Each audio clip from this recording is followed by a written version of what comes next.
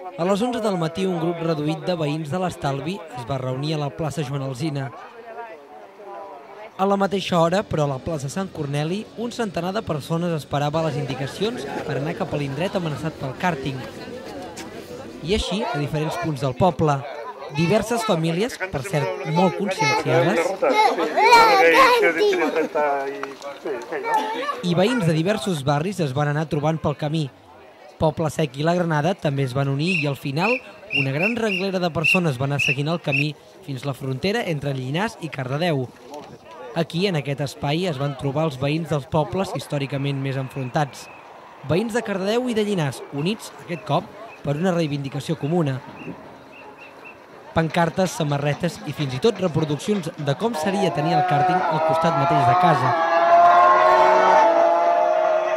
un ambient que va acabar de conscienciar a molts dels assistents. Després d'una caminada per entremig del bosc, finalment, el grup de 490 persones va arribar al cim del turó.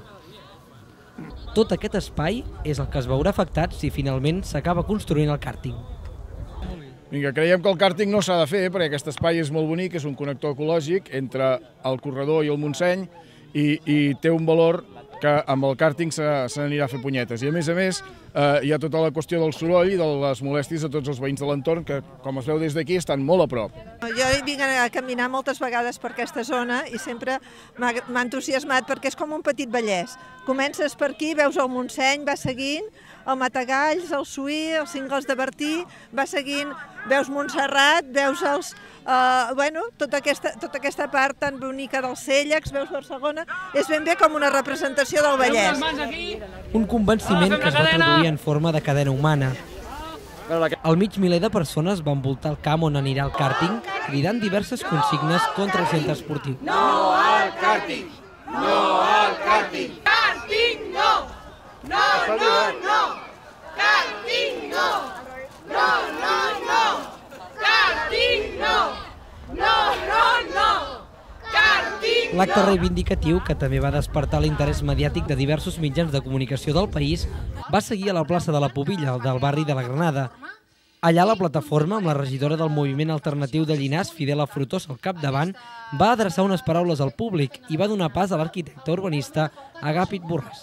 Que som nosaltres els que sabem el que volem, també. Ajudeu-nos a la plataforma Stop Karting, aquesta entitat que està naixent, perquè ens queda de peu, la lluita de manifestar-se, la lluita de una mica l'objectiu aquesta vegada era venir a l'indret, com veieu, perquè hi ha gent que encara no ha vingut, hi ha gent que se'l coneix en el mapa, però no ha copsat encara la vàlua paisatgística que, té, que té aquest espai. Tenim aquí a la vostra esquena el corredor Montnegre, a darrere meu tenim el, el Montseny, dos parcs naturals eh, importants que, segons el planejament de Llinars del Vallès, no poden estar formant una illa eh, aïllada en el territori, sinó que s'han de poder comunicar.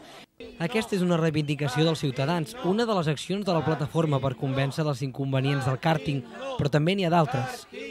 Llavors eh, ja vam fer determinacions eh, perquè el, eh, aquest projecte tingui estudi d'impacte ambiental, eh, que, que l'incorpori, i ara aquest divendres vam presentar un recurs d'alçada al conseller de Política Territorial de, i si no respon, eh, bueno, perquè pot haver el silenci administratiu o no estem d'acord amb la resposta que ens dongui, doncs eh, interposarem un recurs contenciós administratiu.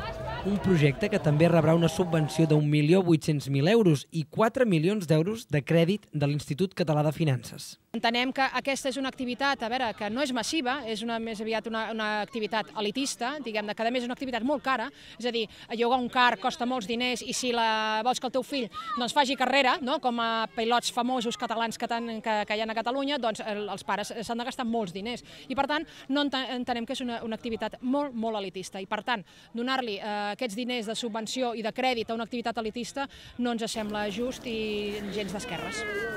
El mes de juny es va formar aquesta plataforma, que ara ja és una entitat, i des de llavors ja són molts els actes i protestes que han fet. Un esforç que esperen que no sigui en va.